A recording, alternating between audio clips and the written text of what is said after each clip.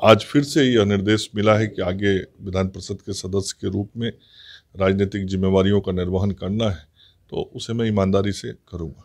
अगर आप news phonation देख रहे हैं। मैं हूँ आपके साथ वंदना। बीजेपी की ओर से एमएलसी प्रत्याशियों का नाम का घोषणा हो चुका है और एक बार फिर से पार्टी ने जो है मंगल पांडे, जो पूर्व में मंत्री रहे हैं बिहार सरकार में, उन पर भरोसा करते हुए जो है पार्टी ने जो है प्रत्याशी बनाया है। हमारे साथ बात करने के लिए खुद मंगल पांडे सर हैं। कैसे देख रहे हैं सर? नई जिम्मेवारी को किस रूप में देख रहे हैं आप?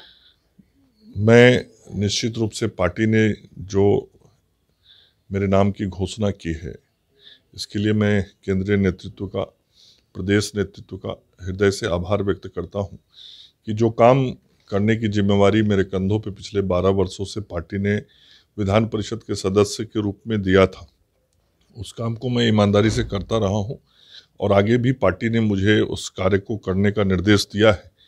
तो मैं हमेशा से एक पार्टी का कार्यकर्ता रहा हूँ। और पार्टी का जब भी जो निर्देश जो काम करने का मिला है वो काम करता रहा हूँ। आज फिर से यह निर्देश मिला है कि आगे विधान परिषद के सदस्य के रूप में राजनीतिक जिम्मेवारियों का निर्वहन करना है तो उसे मैं ईमानदारी से करूँगा।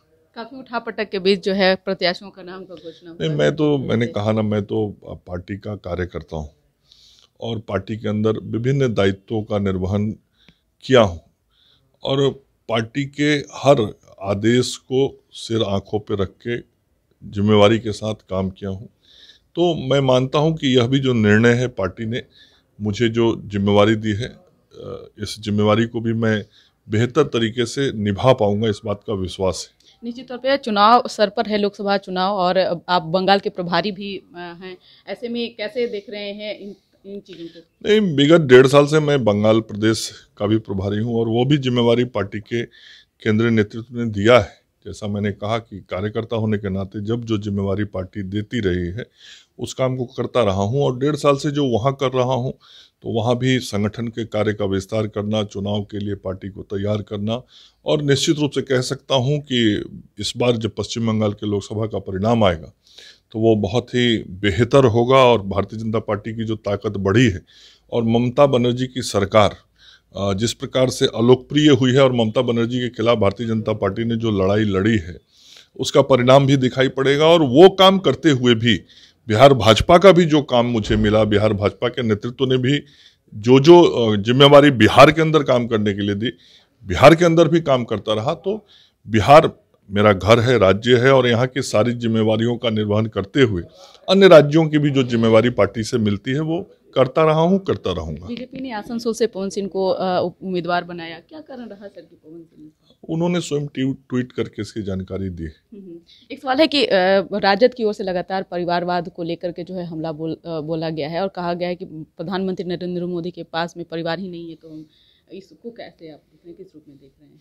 नहीं, देखिए, जो राष्ट्रीय जनता दल और लालू जी का परिवार है, उनके परिवार का मतलब होता है घोटाला। उनके परिवार का मतलब होता है भ्रष्टाचार करने वाला व्यक्ति। उनके परिवार का मतलब होता है उस परिवार में ही जन्म लिया हुआ व्यक्ति।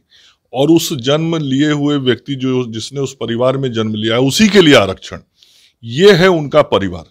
और नरेंद्र मोदी जी का जो परिवार है, उस परिवार का मतलब होता है विकास। उस परिवार का मतलब होता है दुनिया में भारत की पहचान को बढ़ाना। उस परिवार का मतलब होता है आत्मनिर्भर भारत बनाना। उस परिवार का मतलब होता है दो तक विकसित भारत का निर्माण करना और उस निर्माण में अपना योगदान करना। और नरेंद्र मोदी जी के परिवार का मतलब होता है हर भारतवासी के सुख दुख की चिंता करना। ये अंतर है नरेंद्र मोदी जी के परिवार में और ये जो परिवारवादी लोग हैं उनके परिवार में। तो आज देश नरेंद्र मोदी जी के परिवार से जुड़ना चाहती है। इसीलिए आपने देखा होगा विगत कुछ दिनों में बहुत बड़े पैमाने पर सोशल मीडिया के माध्यम से भी मैं मोदी के परिवार से जुड़ा हूँ। मोदी का परिवार करके आज करोड़ों लोग मोदी जी के साथ जुड़े हैं और मोदी जी भी बार बार ये कहते रहे हैं कि 140 करोड़ संपूर्ण भारतीय उनका परिवार है। लोकसभा चुनाव से पहले तेजस्वी यादव ने ऐलान किया कि हमारी पार्टी एम वाई की नहीं है बल्कि बाप की भी है। अब वो जाने उन, उन उनको जो जो स्लोगन गढ़ना है गढ़ते रहें। लेकिन बिहार की जनता जानती है कि उनकी पार्टी उनके परिवार की पार्टी है। उनकी पार्टी में वो होंगे उनके भाई होंगे उनकी माता जी होंगी उनके बहन जी होंगी उनके पिताजी होंगे। उसके अलावा सामान्य व्यक्ति समाज का या राजनीतिक कार्यकर्ता नहीं होता है।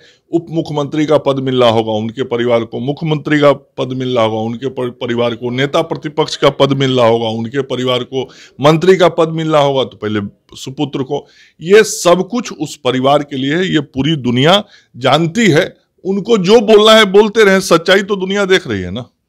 एक एक अंतिम सवाल है, सर, कि जिस तरह से बीजेपी इन दिनों सभी को साथ में लेकर के चल रही है, चाहे वो अति पिछड़ा हो पिछड़ा हो, या फिर सवर्णों को, लगता है कि इसका भी देखिए, नरेंद्र मोदी जी और भारतीय जनता पार्टी बहुत साफ़ तौर पे बार बार माननीय मोदी जी ने कहा है, सबका साथ, सबका विकास, सबका प्रयास और सबका विश्वास।